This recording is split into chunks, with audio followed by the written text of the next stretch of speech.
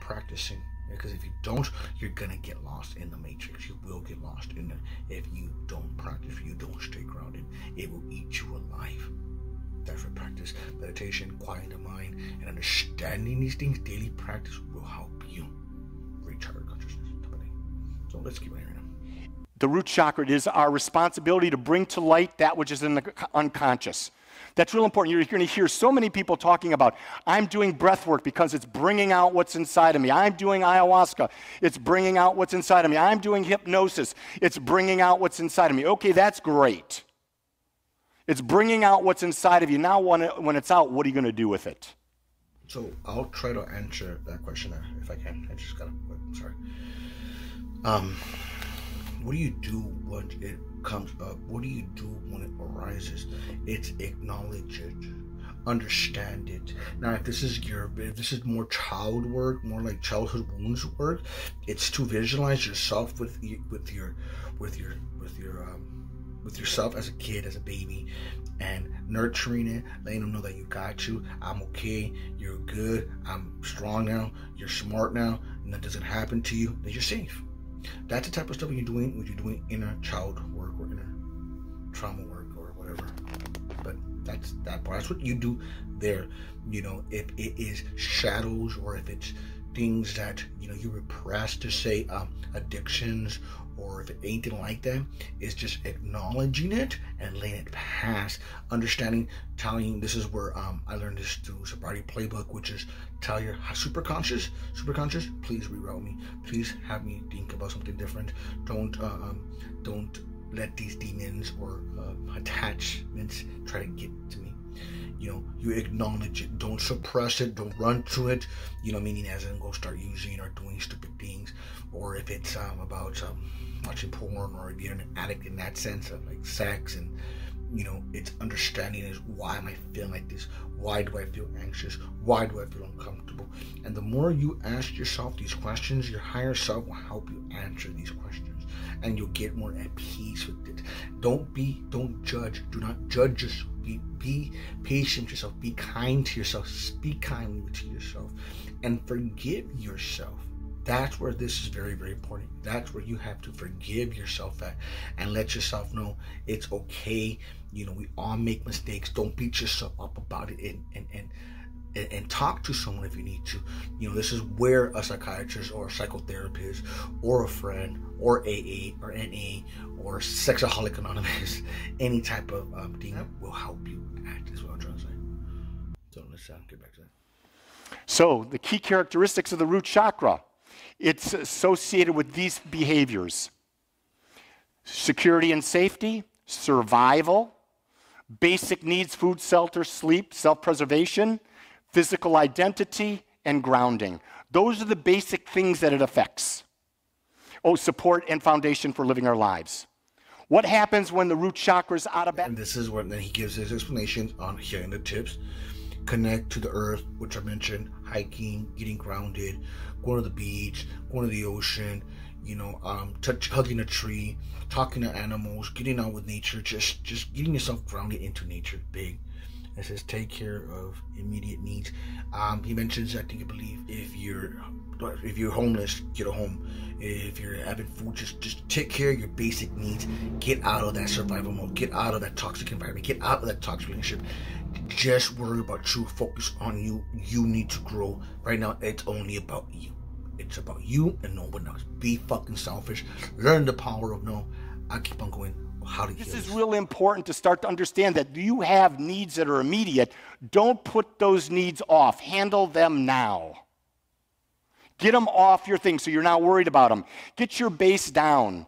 Get your house in order. Get your food in order. Get your safety in order. Then you can move forward. Okay, um, go from outer focus into inner focus. From outer focus to inner focus. Stop letting outside things validate you. Fuck them. Fuck everything else. Go within. Go with you. Start listening to your intuition. Start following your heart. You know, start getting in tune with you. Get to know yourself. Heal thyself. These are all basic needs. Uh, and, and if it goes back to the basic needs of tips, yeah, but well, let's see what he has to say right now. Develop a deeper sense of self love. Um, and this is just where define how much value do you have? Are you going to put up with that toxic cycle? Are you uh, uh are you going to allow that to happen to you? Reinforce your boundaries. Bulletproof boundaries and reinforce them is key right here. Big key. So let's see what else isn't it great that our motto here is how to, how to teach how to better self love through conscious living? And in every one of the chakras, to heal it, you develop a deeper sense of self love. That will heal every chakra. That will get the energy going. That self love thing, self acceptance, understanding, growing, becoming more. It's everything. But we tend to run from the simplistic and want complex. Don't need it. And this is my favorite part. This is what I've been trying to get to from the beginning. What happens when the root chakra is imbalanced? Well, this is what happens aggressive, excessive negativity, and cynicism. What the fuck that means? We'll put the definition. Okay. Eating disorders, which is big, you know, because we have to cope. We cope with ourselves and, you know, we start to eat a lot, and stuff like that. Greed, it's a big one. No, I'm not sharing. No, you can't give mine. No, I'm not going to share this information that I just, I'm not going to share my downloads. I'm not. Okay, just to give you guys an example. Anger. Do you have anger issues? Are you always mad? Are you always flipping people off? Uh, um, are you letting other people get to? Because remember, what you see in others exists in you. It's their, their mere reflection. Especially, you know me. okay? Excessive feeling of insecurity, living on survival mode, and consistently. If you're living in survival mode, and this is, he talks about it big time on his, his and Brandon mentioned it you know, uh, it's that flight or fight thing. So if you're always constantly, you know, worried about who's going to get me and what's going to happen, who's going to be lurking around that corner, then you're in survival mode. So this is where you're affecting your root chakra, FYI. And worry and depression, you know, and um, worrying, of course, where you know when you're worried about the past, or worried about them cheating on you, or worried about what's going to happen. Anxiety it creates anxiety, and it creates all these other blocks in your chakras. So we'll get it going. We'll keep it going. Go from an outer focus to an inner focus. Realize that this outer world is a reflection of the inner world, and where the change needs to happen is within you, in your mind, in how you view things and what you believe. Remember, I think I said this last week, and it was, it's my favorite quote that I've ever come up with, and is that without commitment, there is no belief. Do you really let that sink in? That if you believe something and you're not committed to it, it's a fantasy, it's a fairy tale, it's not a belief. When you believe something, you commit to it, meaning there is no turning back and you're going to get it done. And the last one is it talks about it's the chief cause is divine self love, getting to know yourself, understanding yourself, understanding your higher self, understanding consciousness, understanding there is more, understanding your dharma on mm-hmm. yourself, period, in general, um, and, and, and believing in yourself, understanding your intuition, uh, and, and trusting your intuition, your higher, which is your higher self, the divine consciousness, spirit, God, the angels. That's where all this comes into play.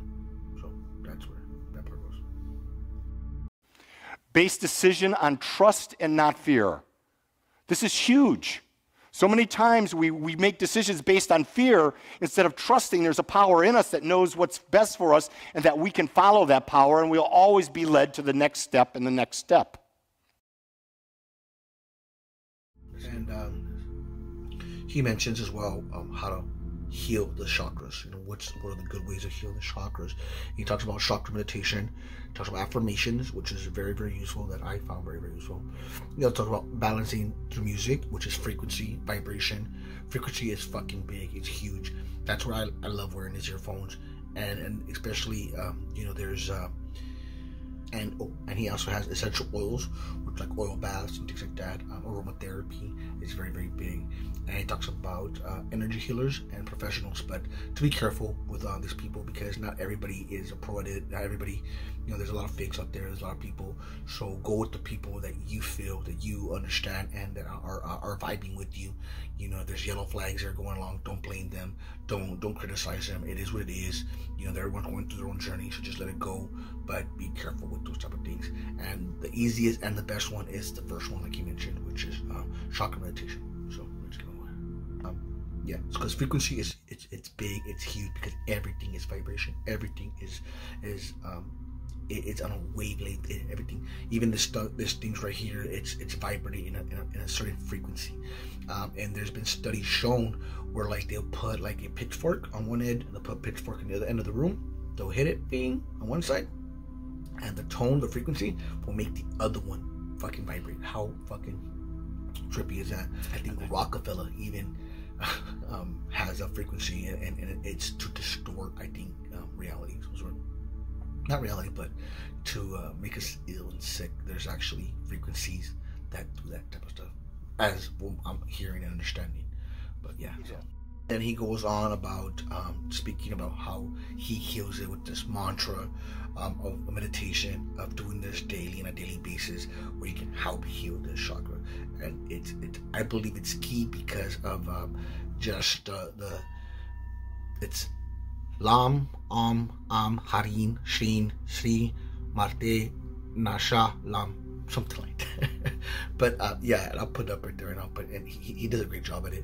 But this is just one way. This is just the root chakra. We have seven more chakras to go, um, and I'll try to put this out daily if I can. If if, if uh, not that if I can, you know what? I'm gonna challenge myself, and we're gonna do these seven chakras, and we'll try to put one out daily, or if not, one every other day at least, um, just to get this going and um, just to get the basics of the chakra here.